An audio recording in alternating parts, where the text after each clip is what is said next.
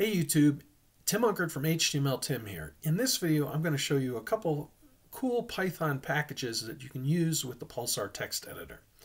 Now, I work as a high school math teacher and I teach web development as well, but sometimes I want to use Python and Ruby to quickly generate worksheets for my students.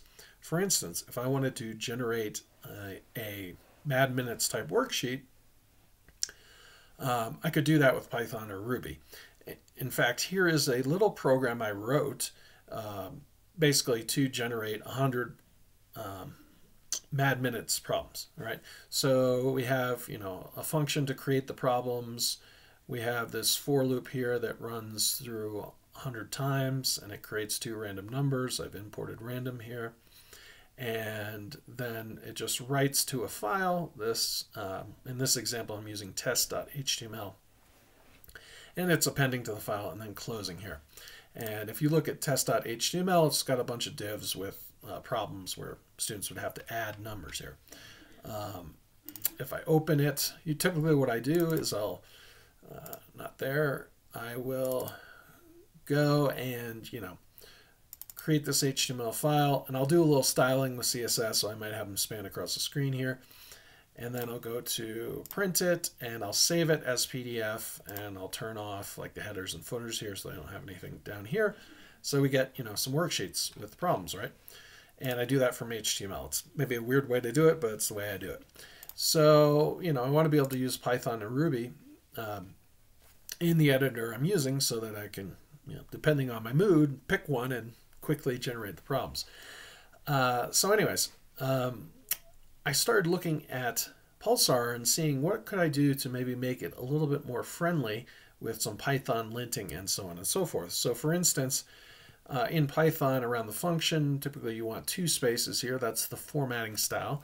So if I were to backspace here, um, you notice I'm starting to get this linting here and it says expected two blank lines found one. Okay, so yeah, so um, what I'll do now is I'll just space and the linting will go away, okay?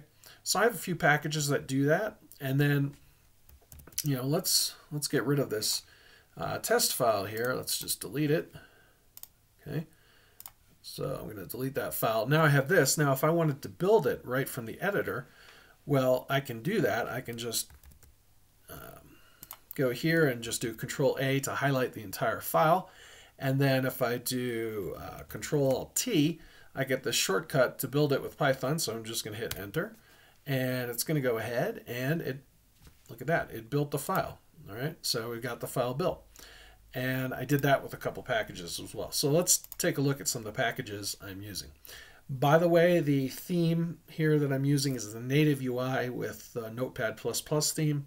I'm feeling like a light mood today. If you, I have a video on that on my channel if you want to check it out.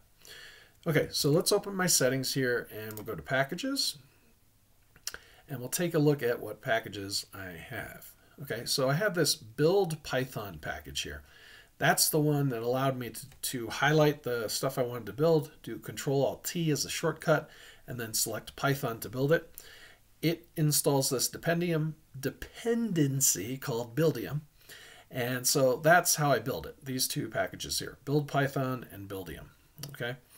Um, you see busy signal, that is, that and intentions are stuff I need for linter and the linter UI.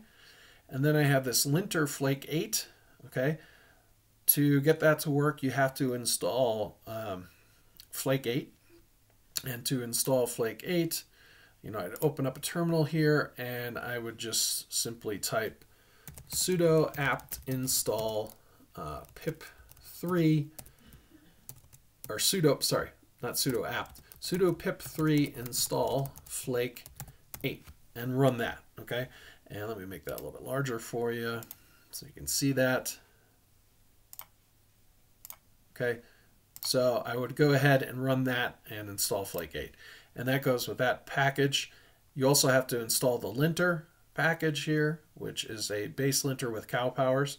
So install that, and then that installs the linter UI default. I also have this Python AutoPep 8, so it formats a code using AutoPep 8. Um, to do that, you do need AutoPep 8 installed. So if I went here, I would type sudo pip3 install AutoPep 8, like so, and run that and install that package. So yeah, this is working pretty good. I'm still looking at stuff for auto completion in Python. So that's still not quite there yet. Uh, I was trying some stuff with Jedi, but uh, that's not quite working yet.